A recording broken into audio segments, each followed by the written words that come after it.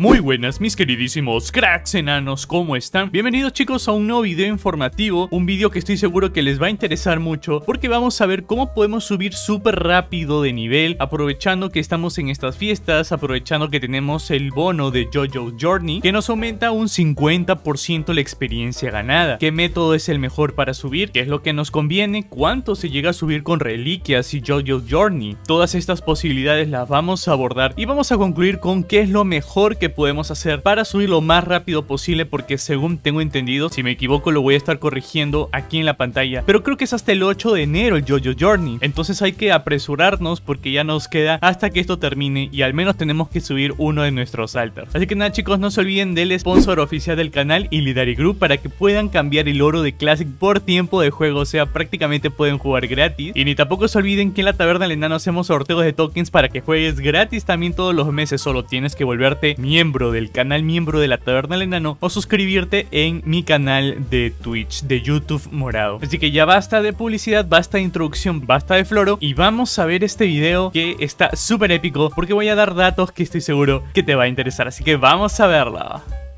Vamos a comenzar abordando las misiones. Es rentable hacer misiones actualmente con las reliquias, con las dos reliquias que nos aumenta un 10% de experiencia cada una, sumado más este bufo de 50% del JoJo Journey. La respuesta es más o menos. Realmente no es la mejor técnica, pero es una muy buena si estás escuchando un podcast, un video de la tarde del nano de fondo, tu novela favorita, si estás hablando con alguien, con tu amigo, con tu pareja, con quien sea, y estás en modo automático, en modo robot, hacer misiones es la vieja confiable, no tienes que prestar demasiada atención para subir de nivel. En lo personal estoy cansado de hacer las mismas misiones ya 5 veces, porque este vendría a ser como mi quinto alter, así que por un lado tengo la ventaja de que me sé todas las misiones, pero por otro lado estoy hasta las pelotas haciendo esto, por lo que si es tu segundo tercer alter y ya no quieres hacer misiones, y por sobre todo si no tienes montura voladora, te recomiendo que esta opción no la sigas, no la hagas mi queridísimo enano. Más o menos cada misión te da un 2% de toda tu barra total o hasta un 3% en el mejor de los casos, las misiones un poco más difíciles te dan hasta 3% de tu barra haciendo misiones de tu mismo nivel. Así que para llegar a tener la barra completa este 100% a punta de misiones probablemente te demores unas 4 horas en subir de nivel o al menos es lo que yo me he demorado subiendo de nivel con mi brujo así. Comenzaba como a las 11 de la mañana, terminaba como a las 2, 3 de la tarde y subía un nivel. Claro que me tomaba un tiempo para ir al baño, para almorzar, para esas cosas, pero más o menos terminaba como a las 3 de la tarde, quizás un poco más, en subir un nivel completo. Si hacemos una comparativa de cuánto tiempo nos demoramos en subir sin estas reliquias, sin estos bufos, en la época del release cuando recién salió el EK, más o menos por nivel nos demoramos unas 5 horas leviando a full focus. Esto nos hacía subir por día dos niveles o hasta tres niveles si éramos unos malditos locos que leviamos desde las 10 de la mañana hasta la 1 de la madrugada. Así que mi queridísimo crack, tú analiza si te conviene con estas estadísticas levear, hacer estas misiones de chill por el mundo, o si ya te parece muy aburrido, o si tampoco cumple con tus expectativas. Vamos a pasar a la segunda forma en la que podemos subir de experiencia, podemos subir de nivel, aprovechando todos estos bonus, y es hacer mazmorras. ¿Las mazmorras realmente aportan, apoyan en algo? La respuesta es sí, es una forma muy efectiva de subir de nivel. Tengo que decirles que toda esta información que estoy dando es sin descanso. Si tienen descanso en su PJ, es mucho mejor, van a subir mucho más rápido. Lo mismo pasa con las mazmorras, que puedes llegar a subir hasta 15% de experiencia o incluso más si cuentas con este descanso como hemos estado hablando, llegando al punto de que si repites la misma mazmorra entre 7 a 8 veces, vas a subir de nivel. Hacer una mazmorra te va a tomar menos tiempo en general que estar leviando, por lo que es una forma un poco más rápida, un poco más efectiva. El problema es que es difícil encontrar tanques y healers y tú puedes decir, oye, pero estamos con el bonus de experiencia, debería ser un poco más normal, un poco más fácil porque la gente se anima a aliviar. El punto es que las reliquias y este bonus de 50% hacen que los jugadores no jueguen tanque o healer con tanta frecuencia y se dediquen simplemente a aliviar, porque pueden ponerse su spec de DPS y simplemente juegan en modo robot. Además que encuentras mucha gente basura que anota y que quitea, no sabe tanquear, no sabe curar, no sabe hacer DPS, suelen ser una gran carga. Así que si puedes jugar, puedes hacer esto con colegas, amigos, compañeros o incluso con los miembros de la propia guild, estaría mucho mejor y realmente spamear un día completo te permitiría subir 3 niveles sin ningún problema. Con descanso vas a aumentar todo esto hasta entre 20 25% de experiencia ganada, lo cual es una locura porque simplemente haces 4 o 5 veces la mazmorra y ya subes de nivel. Me refiero claro a All Kingdom, que es la que más spamea mientras vas subiendo en todos estos niveles. Y por tercer punto tenemos hacer vejez. ¿Realmente conviene? ¿Realmente nos va a dar ese plus, ese bonus de experiencia para subir lo más rápido posible? La respuesta es sí. Actualmente hacer full vejez es la forma más rápida, es absurdamente rápido para que subas de nivel. Supera todas las formas de grindeo de experiencia. ¿Cómo así? Primero tenemos que entrar al Valle de Alterac. Y aunque tengas unos flashbacks de los servidores privados donde Valle de Alterac duraba una hora, aquí en Classic lo saben hacer súper rápido.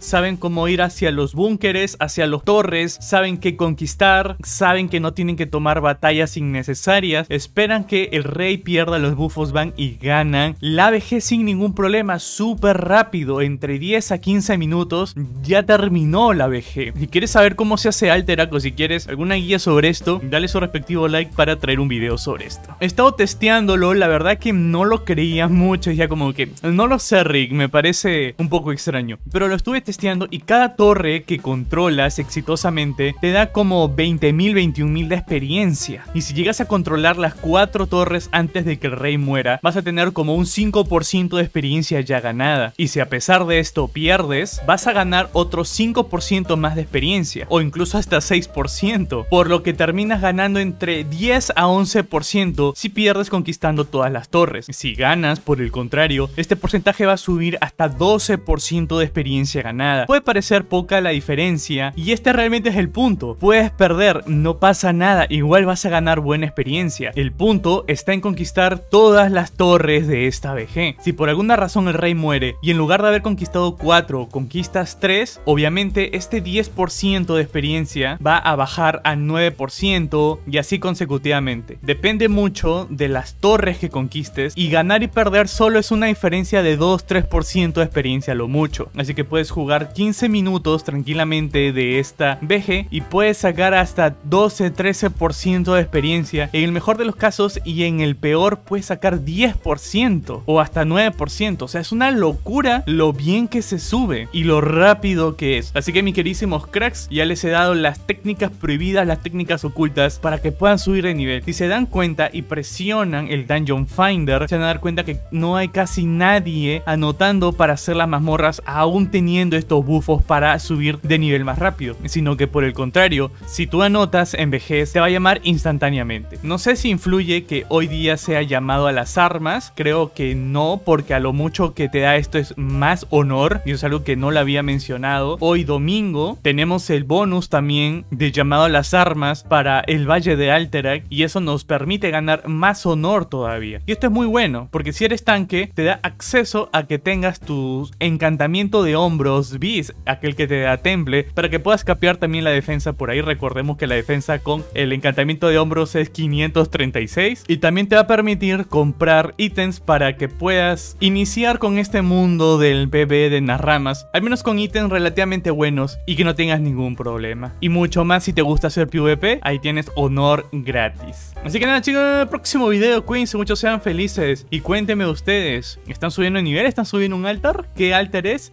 Y poco más, yo estoy subiendo mi brujo, hasta ahora me está gustando un montón y me despido. Nos vemos chicos, un saludo, adiós.